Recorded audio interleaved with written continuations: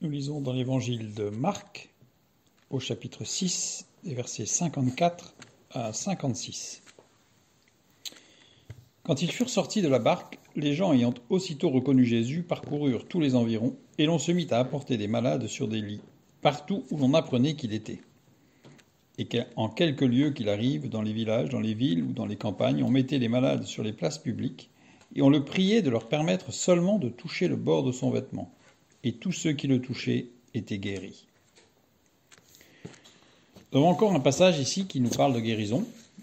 Guérison euh, presque systématique, presque totale, comme dans beaucoup de passages bibliques. Alors regardons un petit peu. D'abord, qui sont ces malades? Le terme qui décrit les malades ici, asténéo. Asténéo, qui veut dire être malade, en effet, mais aussi être en faiblesse. Et la maladie ou la faiblesse s'applique à l'aspect physique, moral ou spirituel. Donc, sur les places publiques, il y avait aussi des gens déprimés, il y avait des gens malades, il y avait des gens qui spirituellement étaient mal. Il y avait toutes sortes de personnes. Et on le priait de seulement le toucher, en fait, puisque leur permettre, euh, ou permettre, la notion de permettre euh, n'existe pas dans le texte original en grec, mais on, le priait, on lui demandait instamment si seulement on pouvait le toucher. Toucher le bord de son vêtement, ça c'est important. Le verbe toucher ici, aptomai, qui veut dire non pas toucher, mais adhérer à, s'accrocher à, s'attacher à.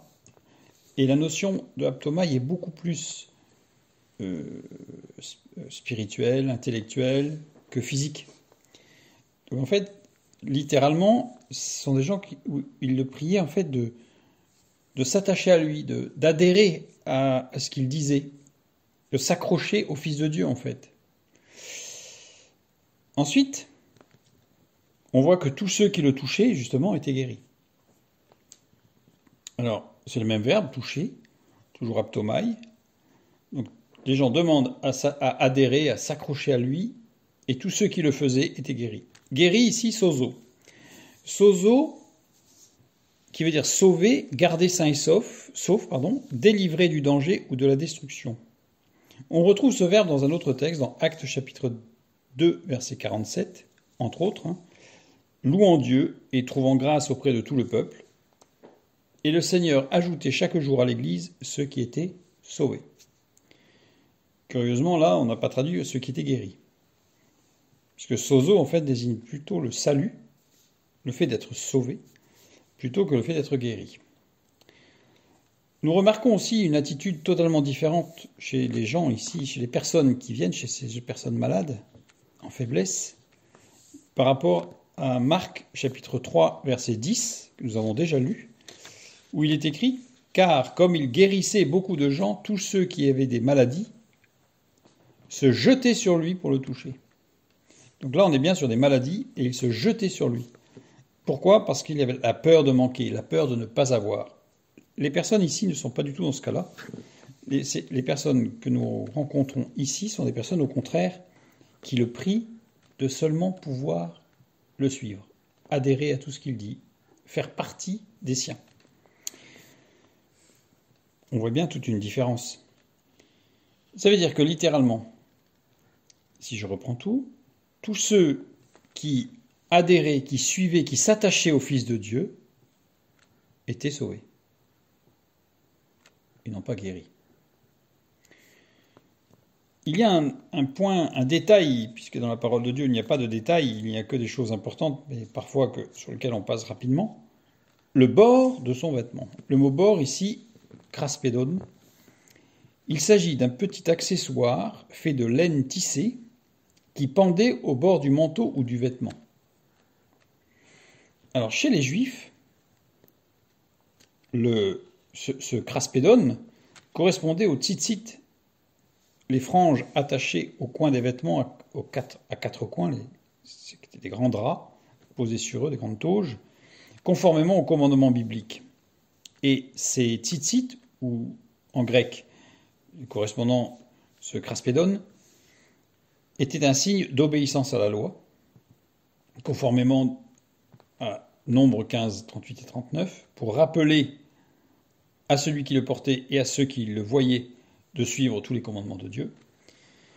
C'était aussi une identité religieuse, servait comme signe visible de l'identité religieuse de juifs qui, qui suivaient la Torah.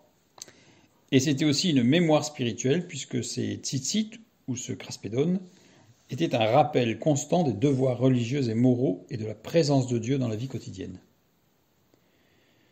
En fait, les personnes qui veulent toucher le bord de son vêtement, ils ne veulent pas toucher le vêtement, ils ne veulent pas toucher Jésus comme les autres qui se jetaient dessus, ils voulaient toucher ce craspédone. C'est-à-dire que le geste de ces personnes malades, en souffrance, je préférerais d'ailleurs en souffrance que malade, était un témoignage d'une identité spirituelle forte et ce geste manifestait un engagement, un attachement profond à la loi de Dieu et une espérance personnelle dans les paroles de Dieu. Il ne touchait pas Jésus, il voulait toucher ce qui était l'emblème emblématique de cette identité spirituelle, de cette mémoire spirituelle de la présence de Dieu dans la vie quotidienne. Et donc en fait ici, on voit que ces gens sont engagés dans un acte de foi et non pas venir voir un guérisseur qui les a sauvés. Il y a un autre point qui est important dans ce, texte, au verset 56, et tous ceux qui le touchaient étaient guéris. Tous ceux ici, c'est une expression grecque, osoi an, qui veut dire tous ceux ou quiconque. Et quand on regarde cette phrase, eh bien, on n'y voit pas le fait que c'était les malades. C'est-à-dire que il n'y a pas que les malades qui ont été sauvés ici. Tous ceux qui s'attachaient, tous ceux qui se sont attachés à Jésus, tous ceux qui, ont adhéré, qui ont suivi, qui se sont accrochés aux paroles de Jésus et qui ont reçu cette espérance que ces paroles donnaient, eh bien ils étaient sauvés. Sozo, et non pas guéris. Ce texte montre que Dieu ne fait pas, comment d'acception. C'est-à-dire que que vous soyez malade, en pleine santé, fatigué, dépressif, spirituellement malade, en perte de foi, peu importe, peu importe.